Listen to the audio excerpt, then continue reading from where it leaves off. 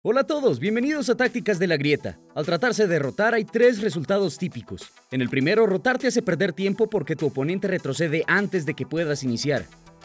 En el segundo, te encuentras con el junglero enemigo en el camino o te atacan en grupo al llegar y pierdes la pelea. Y en el tercero, rotar funciona y tu equipo obtiene la ventaja. Esto es lo que deseamos, y Frozen de Exten usará técnicas de alto nivel para asegurar que la mayoría de sus rotaciones cuenten, e incluso si no resultan en asesinatos, logran no perder tanto tiempo en ellas. Hoy simplificaremos las técnicas de alto nivel que usa para que puedas mejorar tu habilidad para rotar. Quédate hasta el final porque también tendremos consejos para contrarrestar a campeones que rotan bastante. Así que, al tratarse de rotar, es evidente que algunos campeones lo hacen mejor que otros. Frozen jugará con Thalía. Y todo en esta guía aplica para Talon, Aurelion Sol, Rumble, Quillana y Echo. Cualquier campeón puede rotar, pero estos son los mejores para hacerlo gracias a su gran capacidad para despejar súbditos. Esto es porque el requisito para rotar siempre es llevar a tu oleada a la torre enemiga antes de dejar tu carril. Es muy importante que lo cumplas en casi cualquier situación. Por ejemplo, si dejas el carril mientras la oleada está en el centro, tu oponente la empujará a tu torre y tendrá tiempo para seguirte. Pero si empujas tu oleada a su torre, tu oponente se quedará atrapado en el carril y no perderás tanta experiencia o súbditos antes de volver. En esta partida, Frozen jugará como Thalía contra Sylas, controlado por Sóligo de 100 Thieves en retador. No pierde ni un segundo en empujar la oleada hacia Sylas. Cuando llega la tercera oleada, la empuja hacia la torre.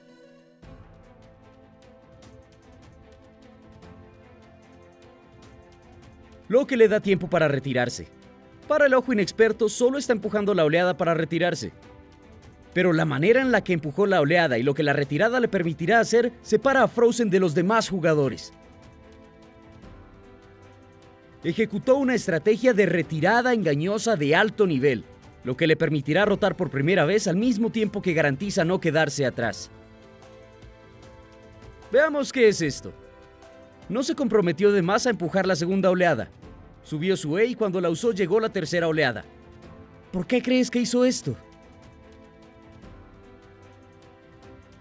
Esa estuvo fácil, pero queríamos que consideraras el tema de la eficiencia. Es eficiente esperar a que llegue la oleada antes de usar la E debido a su largo enfriamiento. Así se acerca y la usa sobre todos los súbditos.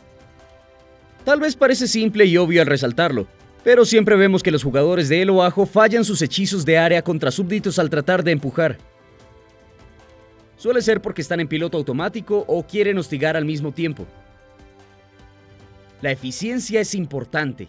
De lo contrario, tendrás momentos inoportunos en los que no podrás llevar la oleada a la torre enemiga antes de que llegue la siguiente, dejándote expuesto a enfrentamientos y emboscadas al tratar de empujar. Probablemente ahora quieran escuchar por qué esta es una estrategia de retirada engañosa, lo cual explicaremos a continuación.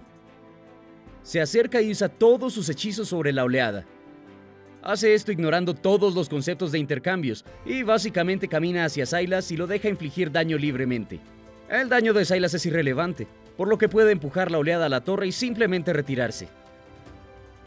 En pocas palabras, engañas a tu oponente para que te ataque en lugar de a la oleada, mientras tú atacas la oleada y luego te retiras.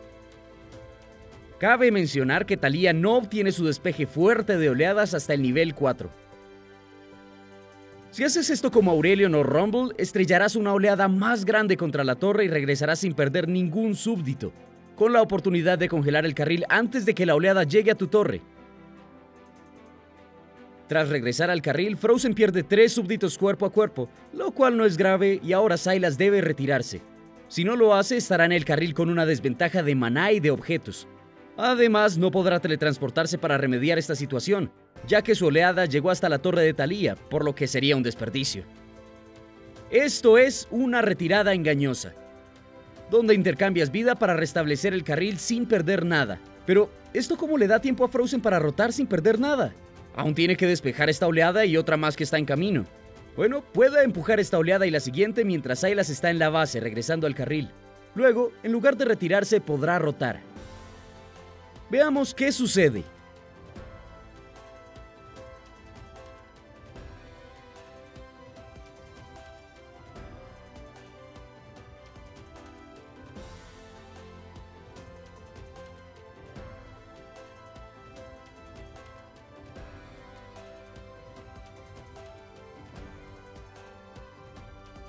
Esto funcionó perfectamente para Frozen, pero Echo no era necesariamente el objetivo al rotar en esta ocasión. Es posible que Frozen haya anticipado que estaría ahí.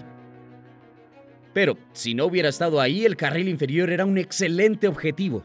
Al pensar hacia cuál carril rotar, debes analizar cuáles son tus probabilidades de éxito. Esto es circunstancial, pero hay tres objetivos que puedes seguir para decidir cuál tiene la mayor probabilidad de éxito. Piensa dónde se encuentran las oleadas en cada carril. ¿Hay oponentes vulnerables o bajos de vida? Y analizar dónde están los jungleros en el mapa. Frozen, al pensar en su oleada, ve que está en el lugar correcto, o sea, en la torre enemiga, lo que concede tiempo para rotar. Si vemos el carril superior, está en la torre de Vladimir, y el set enemigo no está. Si vemos al carril inferior, la oleada enemiga empuja hacia el lado rojo. Esto es perfecto, ya que cuando Talía llegue ahí estará cerca de la torre y dejará al enemigo expuesto a una emboscada.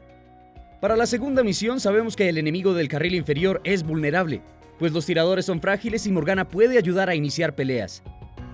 Al comparar esto con que Seth es resistente y solo Vladimir puede ayudar, esa opción es menos atractiva. Para la tercera misión, en cuanto a los jungleros, generalmente es mejor hacer jugadas y rotar hacia el lado de la jungla donde está tu propio junglero.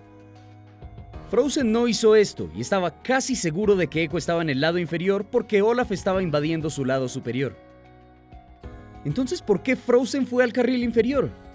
Al inicio, los carrileros centrales son más fuertes que los jungleros. Los jungleros no obtienen un hechizo de invocador ofensivo hasta que mejoran su objeto, y generalmente tienen menos niveles. Así que, incluso si Talía llegara al carril inferior y luego Echo la alcanzara, probablemente ganarían el 3 contra 3.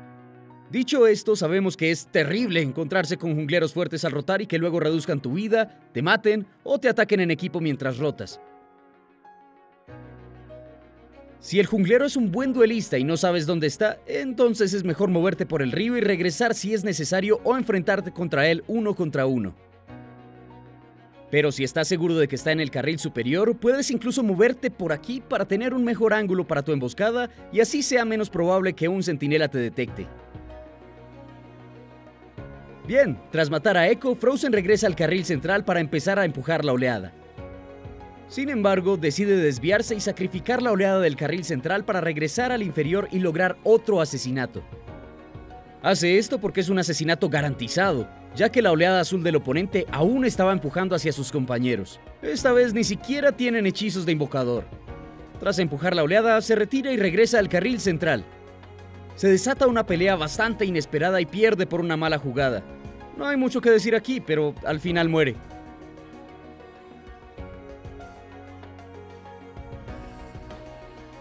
Y Silas también muere. En este punto, ¿crees que Frozen debería ir al carril central, al superior o al inferior?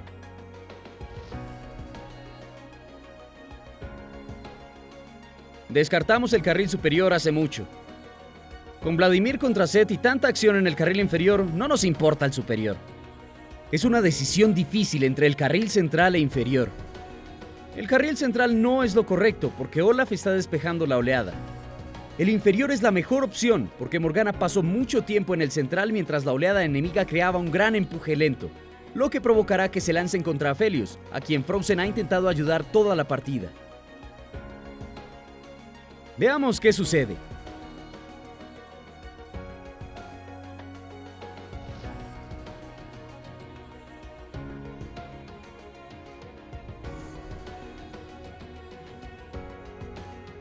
Bien, esto empieza a parecer un poco fácil y tal vez tengas preguntas como, ¿y si Olaf no estuviera despejando la oleada?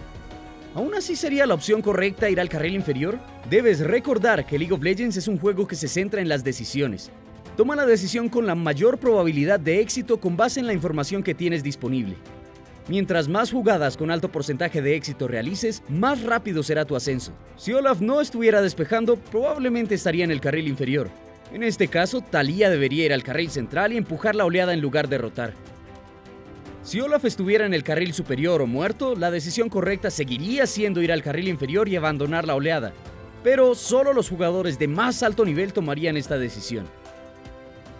Sería necesario entender la probabilidad del próximo ataque bajo torreta contra Felios y luego dirigirte ahí para contraatacar. No te acostumbres a rotar antes de empujar oleadas, a menos que en verdad valga la pena. De lo contrario, terminarás quedándote atrás rápidamente si lo haces demasiadas veces. Frozen empuja la oleada y restablece el carril una vez más. Esta vez es nivel 6 y cierra el juego temprano con una rotación exitosa al carril inferior. Claro, en cuanto pueda moverse.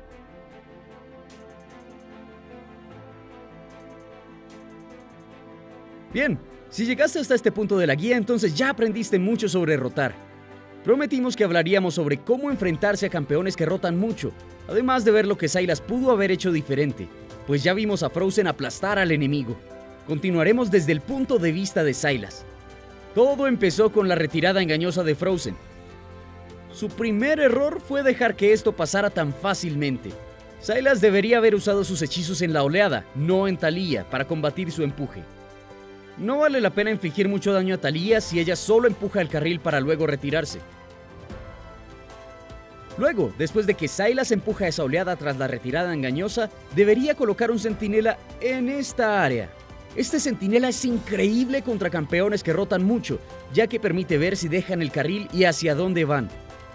En este caso, Echo pudo haber visto a Thalía acercándose y estar más preparado. El tercer momento clave donde Silas no castigó a Thalía fue cuando ella decidió ir al carril inferior tras matar a Echo. Si Silas deja que esta oleada se dirija hacia él y la congela en lugar de empujarla, negaría muchos súbditos y experiencia para al menos empezar a obtener una ventaja de experiencia. Congelar niega más que empujar cuando hay una gran oleada como esta acercándose a ti. Bien, cubrimos bastante en este video, así que haremos un resumen rápido. Frozen inició la partida empujando la tercera oleada y sacrificando parte de su vida para empujarla hacia la torre y hacer una retirada engañosa. Esto colocó a Silas en una posición incómoda y se vio obligado a retirarse antes, lo que le permitió a Thalía empujar el siguiente par de oleadas y tener tiempo suficiente para una rotación temprana. Echo fue víctima de esto y luego el carril inferior enemigo volvió a sufrir debido a otra rotación rápida. Después, Frozen identificó el ataque contra Aphelios y logró asesinar a los enemigos para realizar otra rotación al llegar a nivel 6. Pudo hacerlo al perseguir constantemente tres objetivos. Piensa dónde se encuentran las oleadas en cada carril, hay oponentes vulnerables o bajos de vida, y analizar dónde están los jungleros en el mapa. Gracias por acompañarnos y no olviden suscribirse a nuestro canal para que no se pierdan el próximo lanzamiento.